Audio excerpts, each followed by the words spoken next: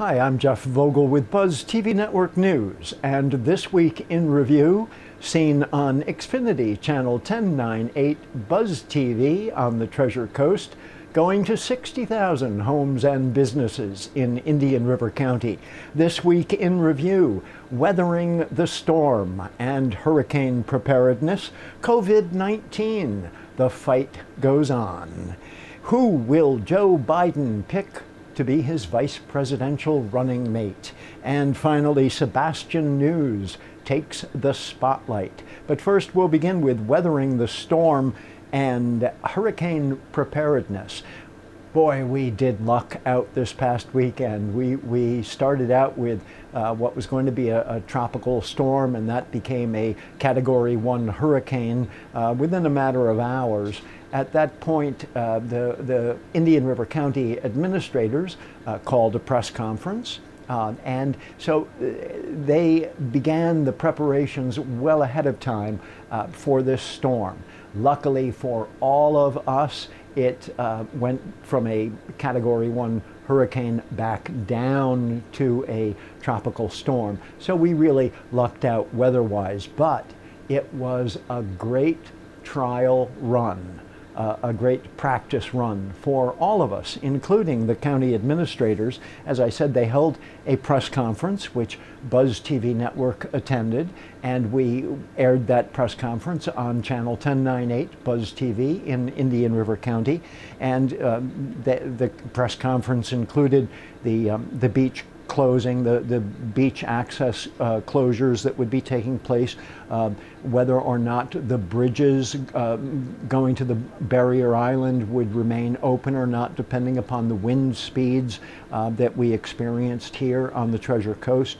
And um, talking about evacuations, uh, manufactured homes, mobile homes, uh, possible flood zones uh, east of US 1. All of these topics were covered um, at the press conference, along with the, uh, the shelters in the uh, county were opened up um, including a special needs shelter, which you are um, theoretically required to pre-register for, or at least they'd like you to pre-register for the special needs shelter. So you can go to the county website to do that.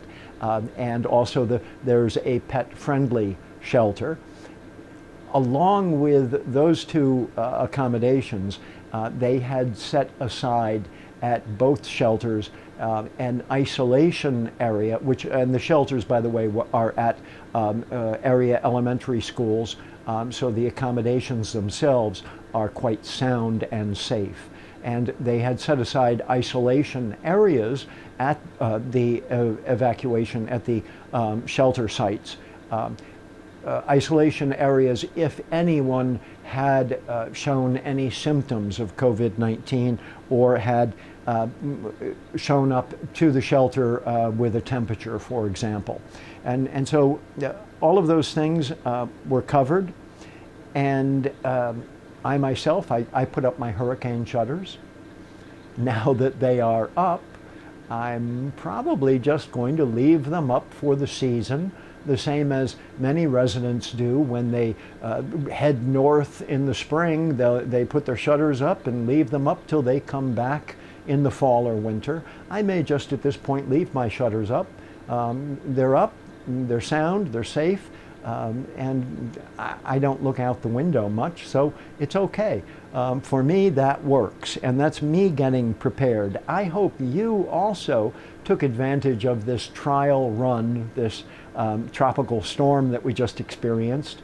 I hope you also took advantage of that to put together your own emergency hurricane supply kit. Make sure, if you didn't, that you do that now because when storms do come our way, often they change course, gain speed, lose speed, uh, become more or less dangerous in just a matter of hours. And there isn't always days and days to prepare.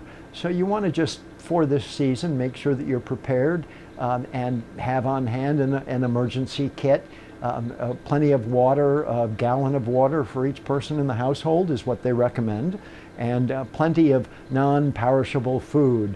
Um, and if you have cans of food, make sure you have a can opener All those things will be of use to you when the real thing does come our way. But so far, we've had one good practice weekend, all of us getting ready for hurricane season. Don't go away, we're coming right back with more of This Week in Review here on Buzz TV.